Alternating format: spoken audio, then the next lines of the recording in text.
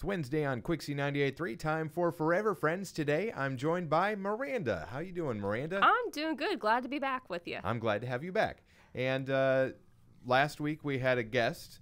Um, that was who? Who was that again? That was Animal Control Officer Milks. Milks. Yep. And a very nice gentleman. Uh, something else that happened last week, uh, late last week, is you did an adoption special. We did.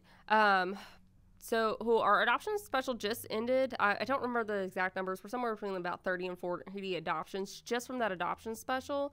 And um, it was a little under a week long. So, that's doing pretty good. We definitely needed the space. Yeah, but uh, uh, from my understanding, is the the it, it helped you kind of clear some room to, and there's always pets that need Oh, adoption yes. so Um, there's always pets that need adoption. Um, even if you miss the adoption special, please come down and see us. Um, I looked at our numbers this morning. As of right now, we have 101 cats in our care. wow and 61 dogs. so still lots of Still, pets that need some good Oh homes. yes, yeah.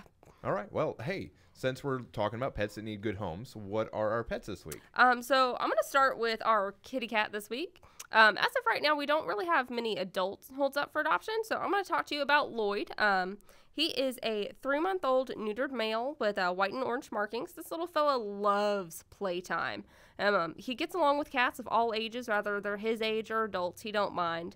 Um, he's been waiting for almost a month to find his new family, and he's currently accepting visitors um, in our front lobby. uh, how old is loyd Three months. he, i was going to say he looks like a pretty young little kitty there Yeah, he's a little ball of energy too. So, well, those are the best kind oh yes.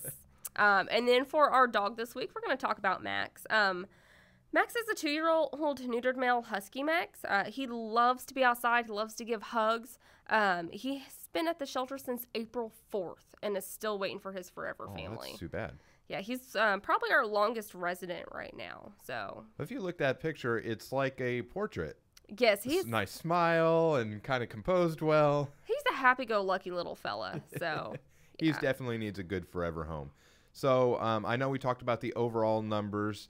Uh, what do our just overall adoption numbers look like? Yeah, so out of the animals that we've talked about here on the show, um, we have adopted out 173 out of 174. Wow, Yeah. that is um, fantastic news. Our only one that has not been adopted yet is poor little Toby. Oh, Um, he's still waiting, so, you know, come see him.